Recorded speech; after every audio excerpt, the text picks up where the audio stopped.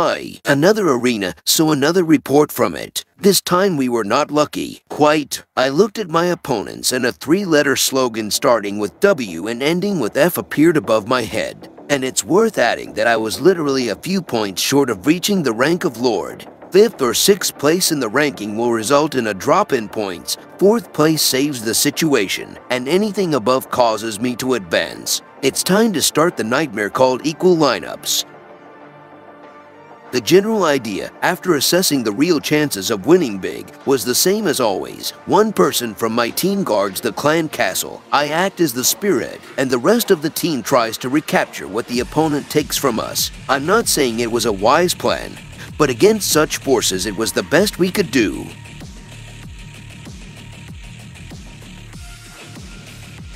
I was counting on taking over the altars quickly, but we weren't very good at it. I sent all my troops to the altars, and I saw that I was not the only one doing it. And yet I saw some resistance in the altars, as if they did not want to give themselves to us. Just a bit of pessimism after seeing who we had to fight against.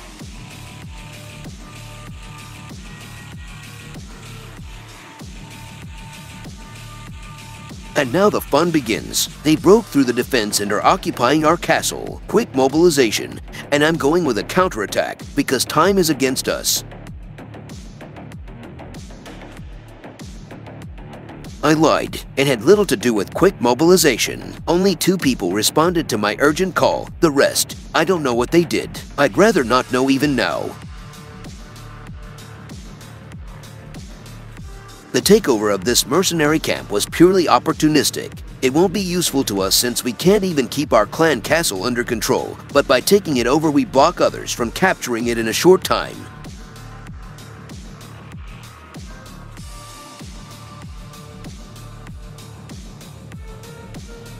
A moment later, I got hit in the back of the head. I'm securing the future here, and the present is laughing in my face. I was waiting on tenterhooks for the end of the occupation of the camp so that I could calmly withdraw and launch a counterattack on our castle. By this time, the number of counter-offensive raids had obscured my vision. Zero, no, hopes of staying at least in fourth place disappeared like the wind. Too much for one person, definitely too much. Here we go again. The defense was not made for spears, but for cavalry, because it was they who were supposed to defend the castle, and they finally broke through my defense. But they probably knew this would happen, because support arrived immediately. It's a pity I didn't get raid support at the same speed. Someone give me a hug.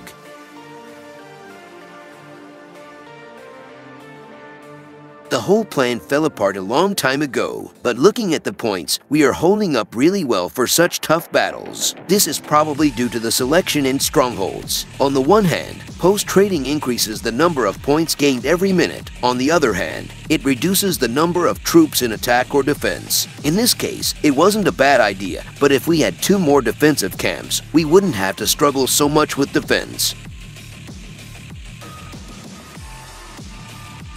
At that moment I knew I was being promoted to Lord. I deserved it. Where does this certainty come from?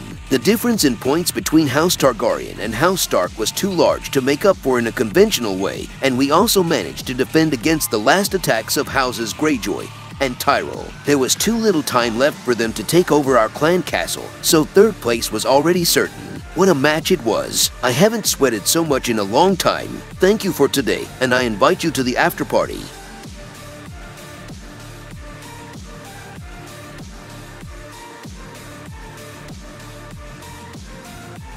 This match definitely didn't go my way. I was tired, I was sweating, I was throwing diamonds down the drain as if I could get hundreds of thousands of them a day. And that's only for third place. The plan was good in theory, but it had no right to work against such strong opponents. A nod to them, my family's faction, to be honest, didn't do well, I will welcome the next arena as a lord, and I feel that it will be much more difficult there. But I can't give up as long as I have the last breath of hope. The arena is a really great diversion, but personally, I would prefer five-person teams facing each other rather than counting on random players. You can find great support, but you can also hit a puddle with your sock. Very unpleasant. I'm not a top player. I need more time for this, or a huge amount of black diamonds. I prefer the former. Maybe next year I will walk like a cutter through dry branches. I have a plan to develop my account, but I will talk about this on another occasion. Thank you for today and have a nice weekend.